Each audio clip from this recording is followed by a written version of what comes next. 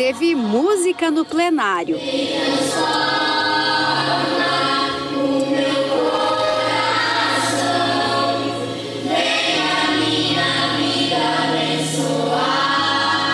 Este é o coral do Colégio Adventista de Pinhais, instituição de ensino que foi homenageada no plenário da Assembleia Legislativa do Paraná pela contribuição que tem dado ao setor educacional.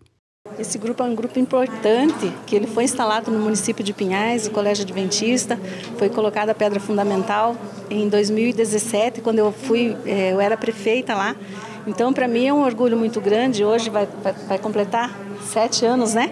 Sete anos da, da Escola Adventista. Começou com 435 alunos, hoje está com mais de 1.300 alunos. Então, para nós é muito importante né, ver o Colégio Adventista crescendo no nosso município. Né? E é por isso que eles são mais que merecedores dessa, dessa menção honrosa. A diretora recebeu o certificado de menção honrosa em nome de toda a equipe e agradeceu a homenagem, que também é um incentivo para a continuidade do bom trabalho. Para nós é um privilégio muito grande, porque nós, como educação, temos sempre o intuito de somar né, com as demandas do município. Os nossos alunos queremos que eles saiam dali verdadeiros cidadãos, que possam contribuir com a sociedade num todo. E estarmos aqui hoje é um privilégio muito grande, é uma alegria e uma honra para nós. Nós temos somado com a, a prefeitura ali, com o município, muitas ações sociais e queremos continuar assim crescendo juntos como escola e como município.